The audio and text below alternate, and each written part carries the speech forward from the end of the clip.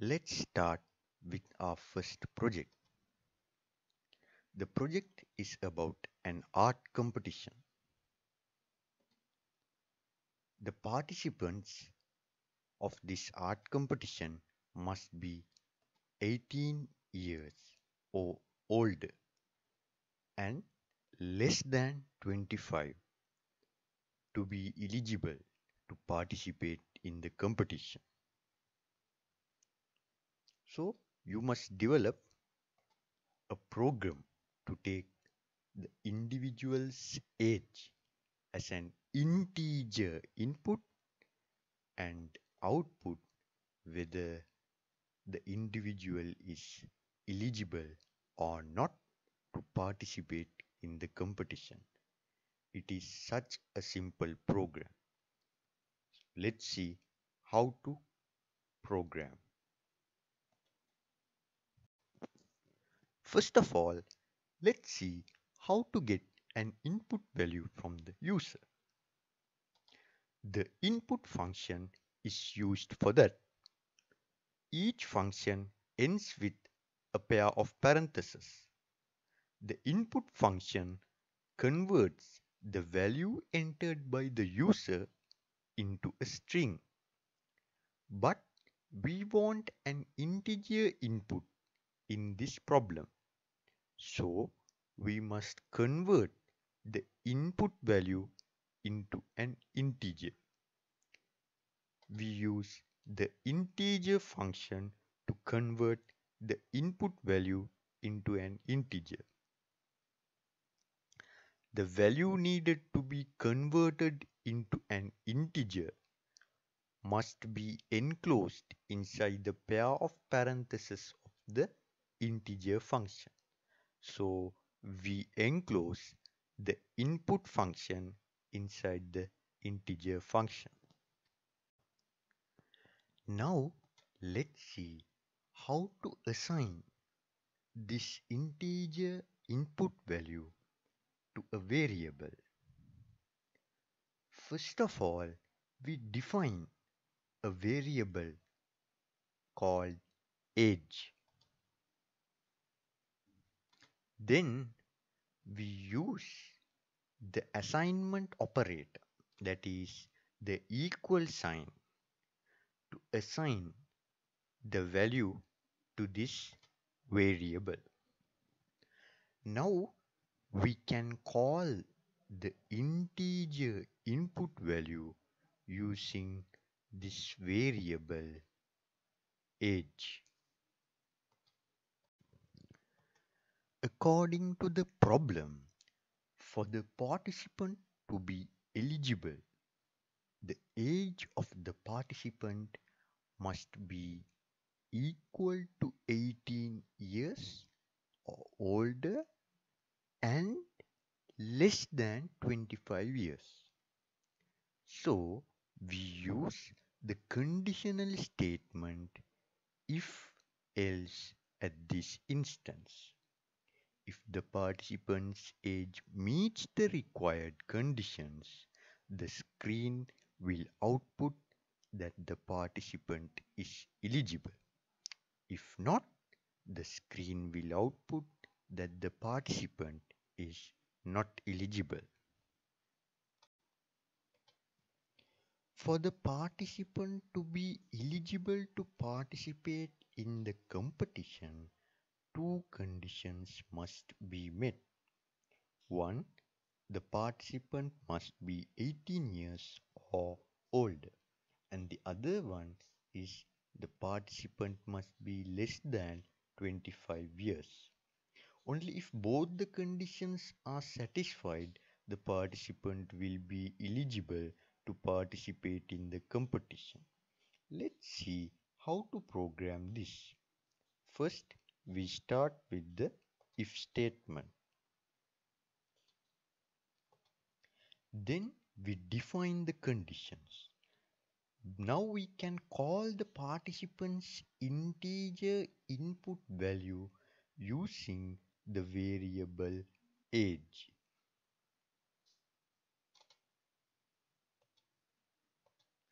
The first condition is that the age must be 18 years or older. So we use the greater than sign and the equal sign after calling the variable age. Then we insert the value 18. Now we move to the second condition.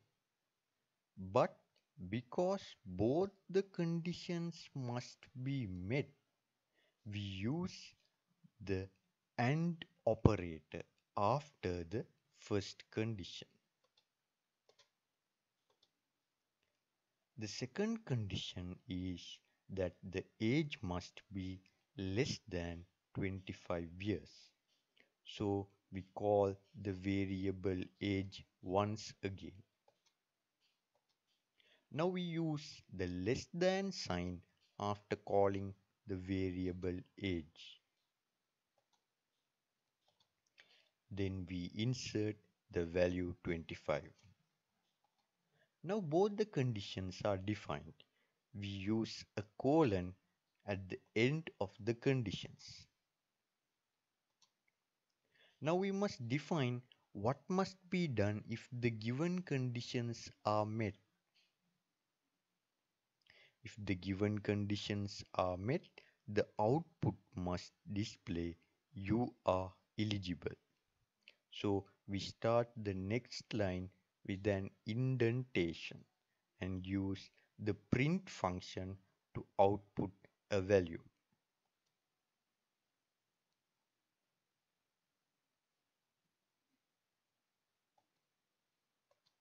We insert the string you are eligible inside the parenthesis within inverted commas.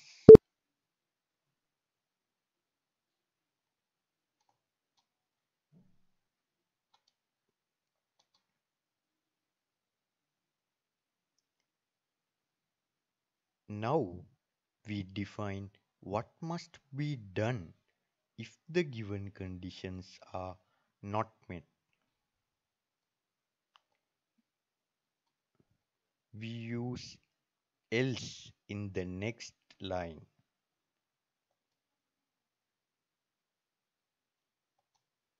and end the line with a colon.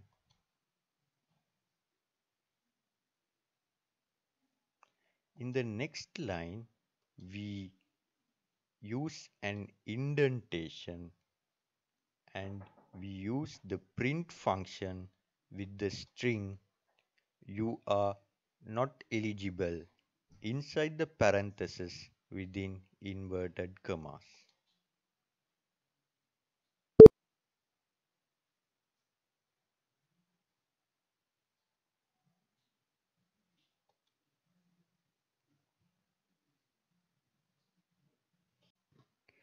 Now let's run the program and test the program with some integer inputs.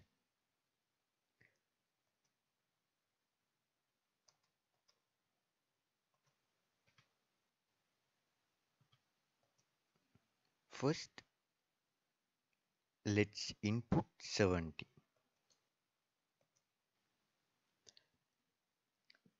The program must output you are not eligible and it outputs the same. Next we'll go with 18. The program must display you are eligible and so it does. When 24 is input, still it displays you are eligible. Now we will input 25. Now it displays you are not eligible. So this is how the program works.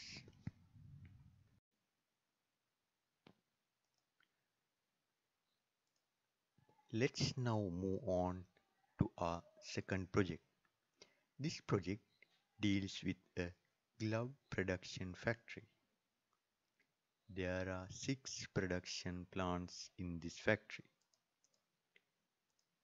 It is the duty of the production supervisor to find the total glove pairs manufactured on the previous day.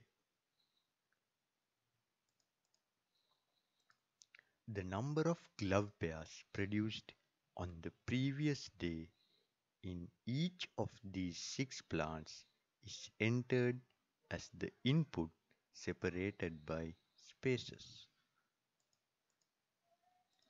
You must create a program to calculate and output the total glove pairs manufactured on the previous day. So let's see how to do this. In this project, we need user input. So first of all, we define a variable called numbers.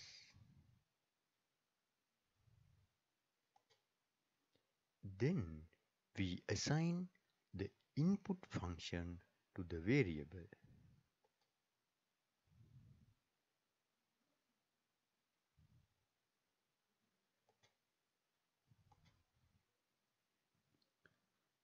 The number of glove pairs produced in each plant on the previous day separated by spaces is the input. As the numbers are separated by spaces, the input function must remain as a string.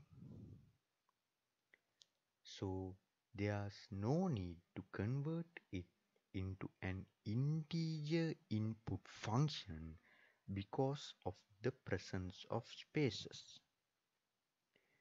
If there were only numbers without spaces, then there could be a necessity to convert the input function into an integer input function. But in this case, it should not be done. So, when six numbers are input separated by spaces, what must be the output? The output must be the sum of these numbers. So, we need to find the sum of these numbers. But the numbers also have spaces in between them.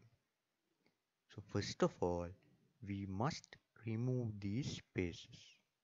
We use the split function to remove these spaces and arrange the numbers in a list. So just after the input function, we insert a full stop like this. Then we use the split function.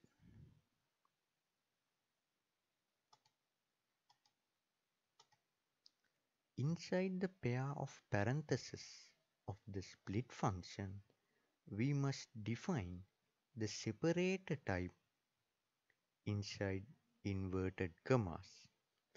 In our case, the numbers are separated by spaces, so we must insert a space within inverted commas inside the pair of parentheses.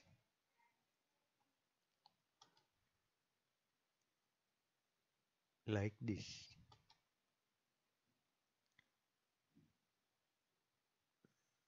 Then when we insert the relevant numbers separated by spaces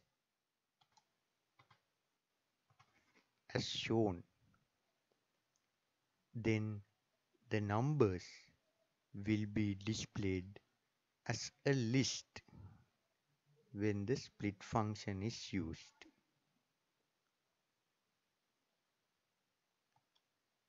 Like this.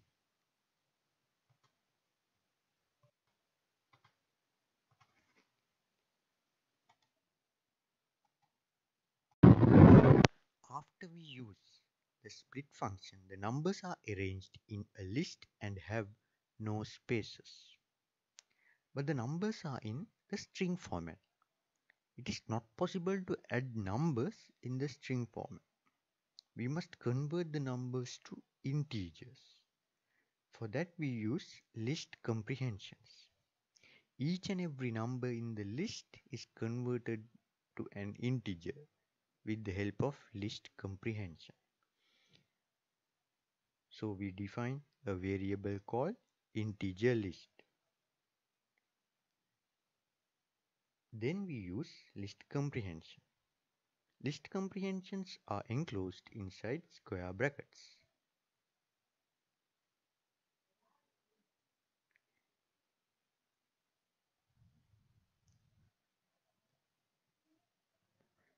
Integer x for x in numbers means each and every item in the list numbers is converted into an integer.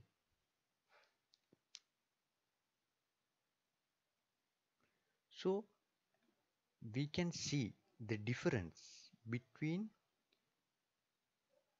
before using the list comprehension and after using the list comprehension.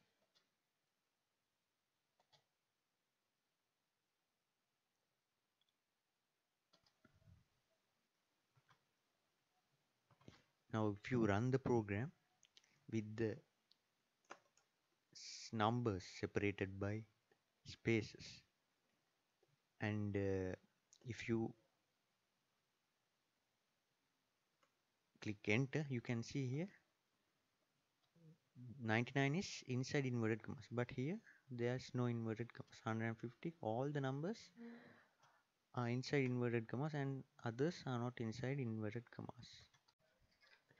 The numbers are inside inverted commas means they are strings so when you use the split function for an input function then the numbers will be just converted to strings. But if you use list comprehension you can convert those numbers to integers. After converting the string list to an integer list we can find the sum of these numbers. For that we use the sum function. So we want to find the sum of the integer list. So inside the pair of parentheses of the sum function we put integer list. So we want to display this sum in the terminal. So we enclose this sum function inside the print function.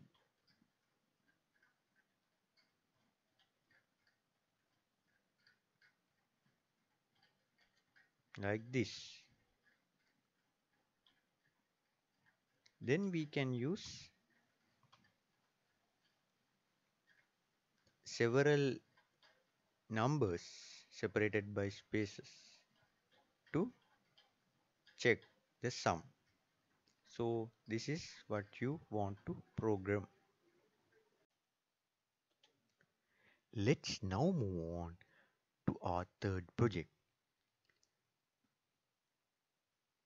You want to move from your current city to a city far away.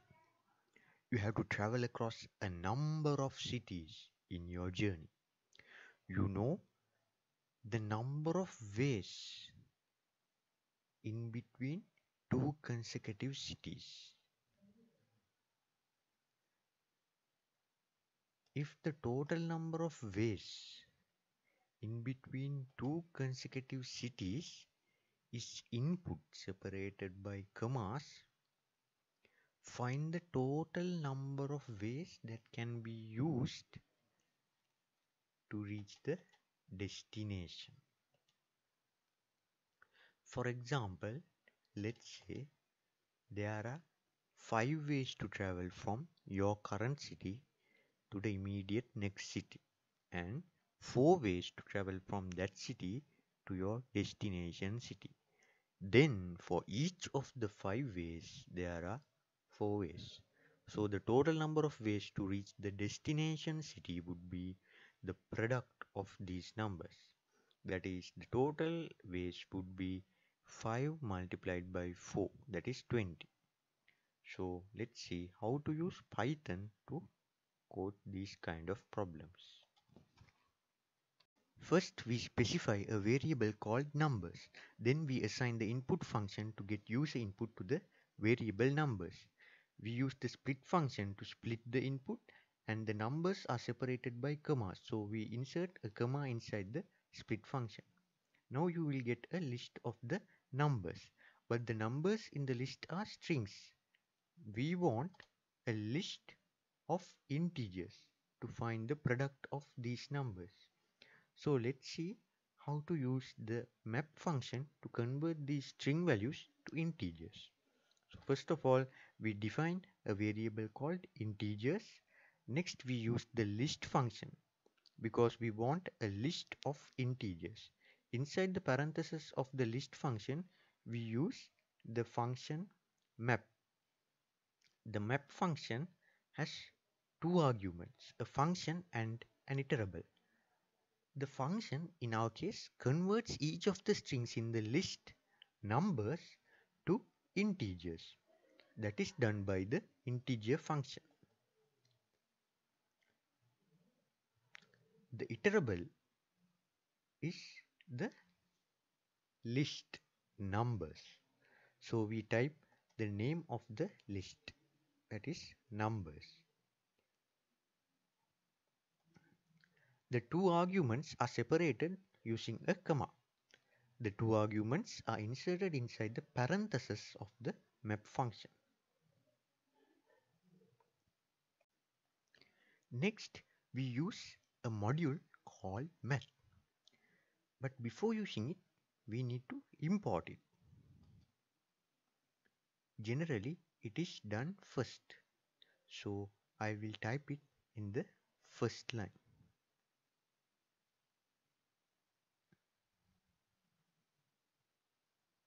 import math.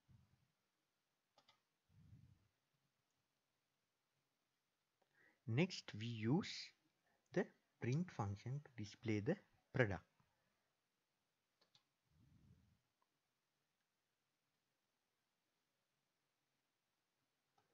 Inside the print function we call the math module. Then we use the product function inside the math module to find the product of the items in the list because we want the product of these integer items. So the math module and the product function are separated using a period.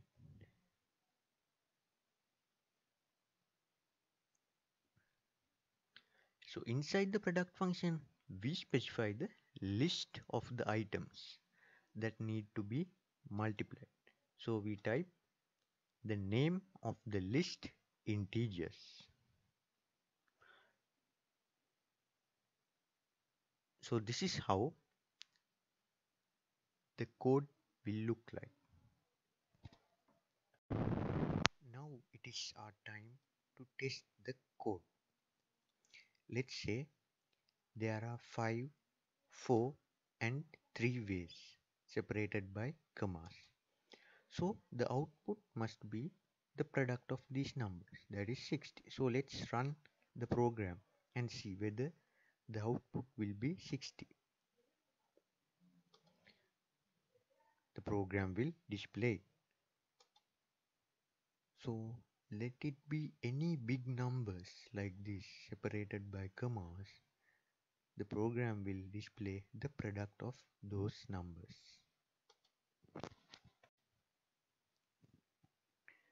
Now comes a yummy project. You need 20 bananas, 5 apples, 2 pineapples and 4 peppers to make a fruit salad. If the number of bananas, apples, pineapples and peppers available is input separated by spaces. Output the number of fruit salads that can be made. The number of fruits available are separated by spaces and input. So the input is a string. First, we define a variable called numbers and then we assign the input function to that variable.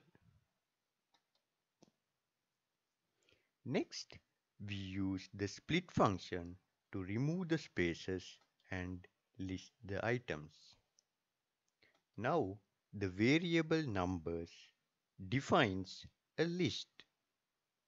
Remember that we insert the separator inside inverted commas of the split function. The separator is a space in this case. Next, we need to convert these string items into integer items.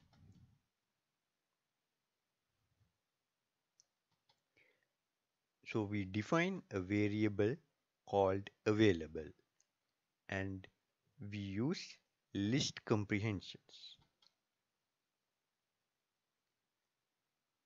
Integer x for x in numbers. So each and every item in the list numbers will be converted into an integer. Now we want another list with the required number of bananas, apples, pineapples and peppers to make one fruit salad. To insert a list we use a pair of square brackets. Inside these square brackets, the items are separated using commas.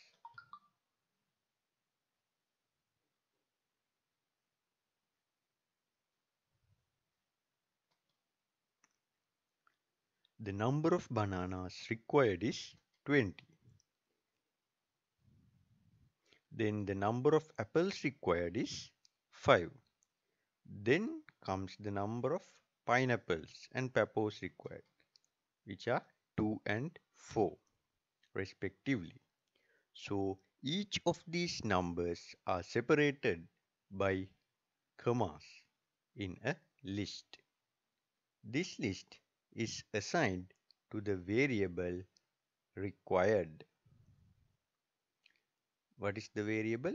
The variable name is required and that list is assigned to this variable which is called required.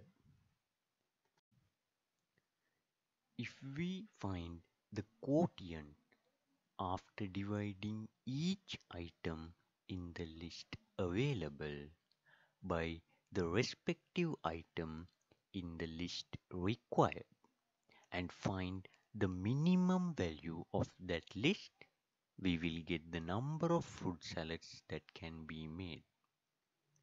So we define an empty list with the variable numbers. When defining an empty list, we use just a pair of square brackets. Next, we must define a variable called i and assign the value 0 to it. 0 is assigned because the first item in any list has the index 0. So there are four items in each of these lists available and required. The second, third and fourth items have 1, 2 and 3 indices respectively. So index is like a code about the position of that item in the list. And we must use a loop to find the quotient after dividing the items in the available list by the respective items in the required list. So we use while loop. That is, while the value of i is less than 4, then only the loop must be executed. If the value of i becomes equal to 4, it must stop. So this is how you code it. We use a colon at the end of the statement while i is less than 4. Now in the next line, we must start with an indentation. In the next line, we will define a variable x. Variable x is the quotient obtained after dividing each item in the list available by the respective item in the list required. So let's see how to code this. First we insert the list that contains the items need to be divided. In this case it is each and every item in the list available. So we insert available and just next to it we insert a square bracket and insert i. I will define the index of each item in the list available.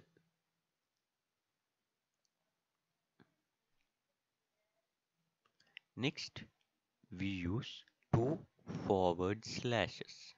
This is the symbol used to obtain a quotient. Then we use the list that contains the items that will divide the items in the list available.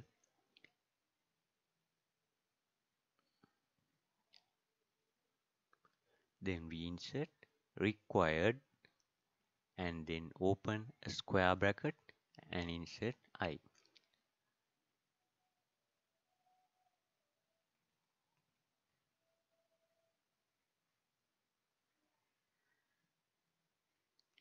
Next, we must add the value of x to the empty list or we must insert the value of x to the empty list numbers. Now there's an empty list called numbers. Right? We must add the value of x or we must insert the value of x to that list numbers which is now empty. So how can we do that? We use the append function for that. In the next line, starting with an indentation similar to the previous line, we call the empty list by its variable numbers. Then we use a period and we use the append function to insert the items into the list numbers. Inside the append function, we insert the item that needs to be appended. In this case, it is x.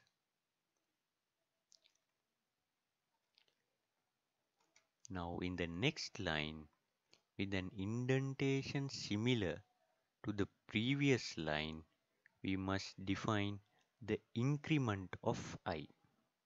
That is, after each loop is executed by how much should the value of i increase. So in this case it must just increment by 1. So we use an operator type called in place operators to shorten i equals i plus 1 by writing i equals i plus equals 1.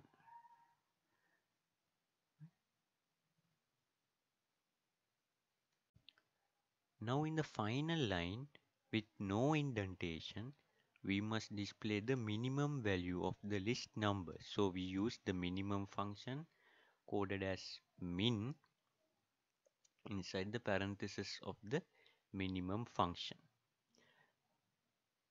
We insert the list numbers right? Inside the parenthesis of the minimum function we insert the list numbers and all these will be enclosed inside the parenthesis of the print function that is used to display the value on the terminal